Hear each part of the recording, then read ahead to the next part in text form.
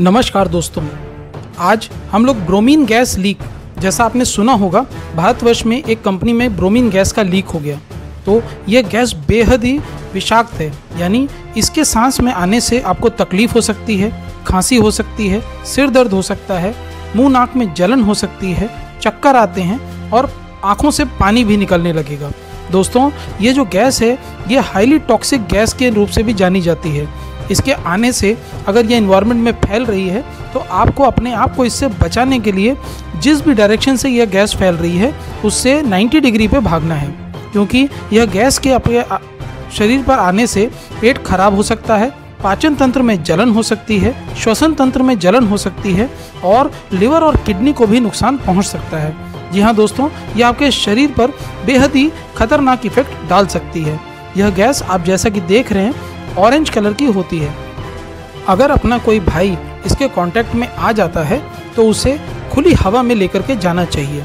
और अगर सांस नहीं आ रही है तो आर्टिफिशियल रेस्पिरेशन देना चाहिए, यानी कि सीपीआर अगर आप सीपीआर देने में महारत हासिल है तो ही आप उसको सीपीआर दीजिए। अदरवाइज़ इसका रिवर्स इफ़ेक्ट भी हो सकता है और उसको प्रॉब्लम भी हो सकती है आपके सीपीआर देने से। दोस्तों, अगर इस तरह से कभी भी कुछ हो जाता है और आदमी बेहोश हो जाता है तो उसे कुछ भी खाने या पीने के लिए मत दीजिए।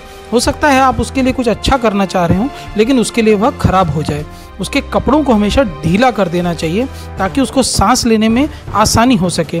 और अगर वह बेहोश है तो थोड़ा थोड़ा पानी का छिट्टा उसकी आँख पे मारने से या उसके मुँह पे मारने से, उसको प्रॉब्लम में आसानी से सांस लेने में और वापस आने में मदद मिलेगी। इसके अलावा अगर कोई आदमी कॉन्टैक्ट लेंस लगाता है तो उसके वो कॉन्टैक्ट लेंस निकाल दीजिए।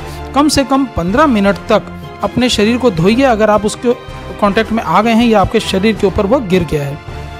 आपका जो भी एरिया है, उस एरिया में जो भी सेफ्टी शावर है वहाँ पर जा कर के अपनी आँखों में अगर कॉन्टैक्ट हुआ है तो उसको अच्छे से धोना चाहिए। अगर आपको एक्सपोजर हो रहा है तो उसको अच्छी तरह से धोना चाहिए और अपने शरीर को भी धोना चाहिए। दोस्तों, अपना और अपनी टीम का ध्यान रखें, हमेशा सतर्क रहें।